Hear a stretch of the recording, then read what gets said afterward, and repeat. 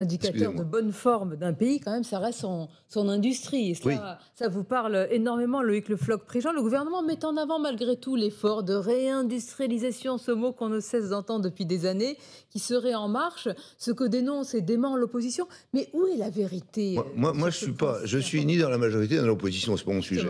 Mon sujet, je suis industriel, et ce que je vois, c'est une méconnaissance profonde, profonde de, euh, du, du politique de ce qu'est l'industrie. L'industrie, ce n'est pas de mettre de l'argent n'importe comment, n'importe où. C'est pas ça. De dire c'est vert, c'est pas vert, c'est pas ça. L'industrie, c'est à un moment des gens qui ont envie de faire quelque chose et qui peuvent ou qui peuvent pas. Alors, soit euh, ils sont. Euh, aujourd'hui, on dit on va vous aider. D'abord, il faut essayer de pas empêcher. Bon, aujourd'hui, les gens qui veulent faire des choses sont empêchés. Sont empêchés par les administrations, par les militants des euh, directions régionales de, euh, euh, de l'environnement, par les textes, les normes, les, etc., par le fait qu'ils ont des contrôles dans tous les sens, etc. Ils sont empêchés. Donc mes directeurs de site, puisque j'ai des directeurs de site, ils se sentent empêchés. On leur dit, ben non, il y a telle administration qui va arriver, qui va faire ci ou ça. Bon, quand euh, quelqu'un a envie de sortir de, la, maison, on fait une rupture conventionnelle, et s'il y a un abandon de poste, en principe, ça, c'est, assez facile. On dit voilà, une fois, deux fois, trois fois, ils sont pas là, ben, abandon de poste. Maintenant, on a rigidifié l'ensemble de, cette de, en disant qu'on simplifie. À chaque fois, on dit qu'on simplifie. La simplification, c'est un millefeuille supplémentaire. Donc, ils sont aujourd'hui empêchés. Alors, d'abord, on n'empêche pas. Et puis après, on dit est-ce qu'on aide ou est-ce qu'on n'aide pas?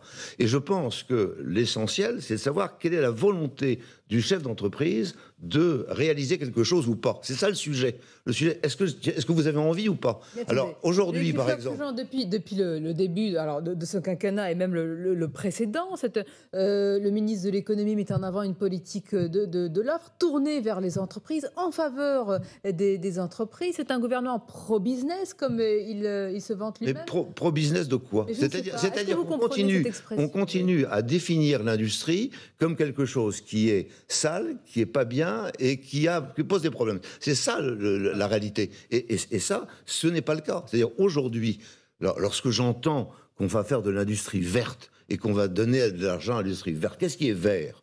Est-ce que, l'éolien, c'est vert? Ben, La pale d'éolienne, de, elle n'est pas verte puisqu'elle ne peut pas être recyclée et on l'enterre. Donc elle n'est pas verte. Bon, si jamais je prends le bilan carbone de l'ensemble solaire, éolien, voiture électrique, c'est pas bon le bilan carbone n'est pas bon. Alors c'est vert ou c'est pas vert?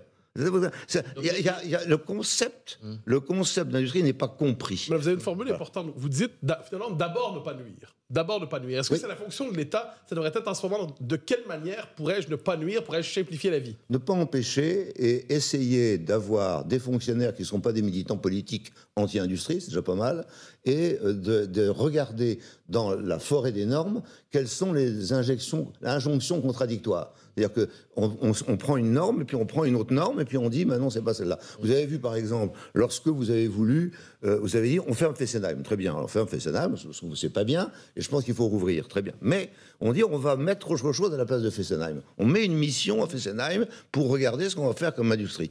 Et puis, le jour où il y a des gens qui disent ben oui j'ai envie d'être là, on leur dit ah non il y a la loi climat et résilience, vous n'avez plus le droit d'artificialiser les sols, par conséquent vous ne pouvez plus être là. Puis on dissout la mission, on s'en va. Vous êtes en train de décrire un, gâchis euh, français. Un gâchis complet. Un, gâchis complet, c'est-à-dire que on croit que mettre de l'argent, ça va résoudre tous les problèmes. Non. D'abord, il faut qu'il y ait des hommes qui ont, et des femmes qui aient envie de faire quelque chose. C'est ça le sujet. Et, quand, quand j'ai fait le livre Capitaine d'industrie, que euh, j'ai expliqué comment en 45 euh, et dans les années qui ont suivi, les gens avaient envie de faire des choses, et puis à un moment, il manquait d'argent et d'autres les financiers, l'État, se sont mobilisés pour arriver à le faire. Mais, mais Dassault ne pouvait pas arriver tout seul à faire ce qu'il a fait, parce qu'il était contre la meute. Mais il a réussi parce qu'il avait envie. Le, Loïc Lefroy-Prigent, tous les discours d'Emmanuel Macron ces derniers jours, jeudi, le déplacement de vendredi à Dunkerque, euh, selon vous, il fait complètement fausse route Il, est hors sol, c'est-à-dire qu'il ne connaît pas l'industrie. Il ne sait pas comment,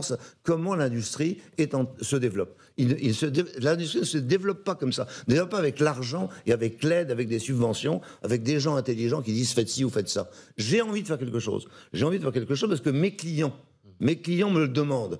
Par conséquent, je vais faire un produit parce que mes clients le demandent. Et qu'est-ce qu'il demande le client aujourd'hui? Il demande que le produit éventuel soit recyclable, que, l'usine soit bien tenue, qu'il demande des tas de choses. Moi, j'ai des audits de mes clients à l'intérieur de, des usines que je dirige, et ils disent, voilà, là, c'est pas bien, là, c'est pas bien, parce que j'ai besoin de dire pour mes clients que vous travaillez de telle et telle façon. C'est ça.